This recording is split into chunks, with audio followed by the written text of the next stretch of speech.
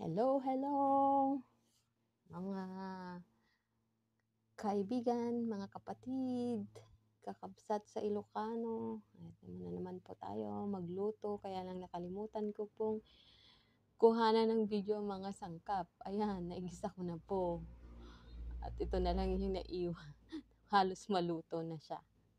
Ang aking sangkap po ay konting pork lang. Ginisa, ayan, nilagyan ng repolyo. At konting beans at konting bell pepper. Ayan, konting paminta. Yan lang po.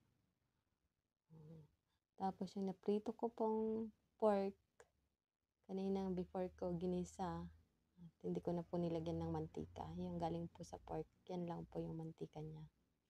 Yan, crunchy pork. At ito naman po ang aking non no bake na cupcake, banana cupcake. Yung saba lang po yung ginamit ko. Maraming saba.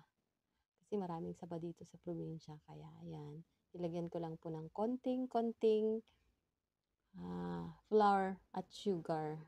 Yan po.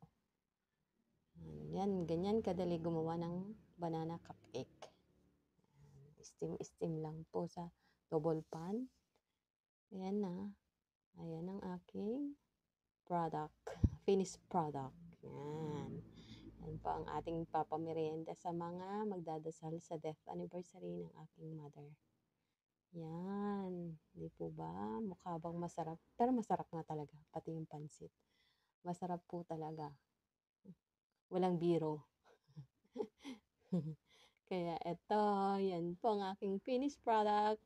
Uh, cupcake, banana cupcake, and pansit bihon with Mickey. Maraming salamat po. Till next time.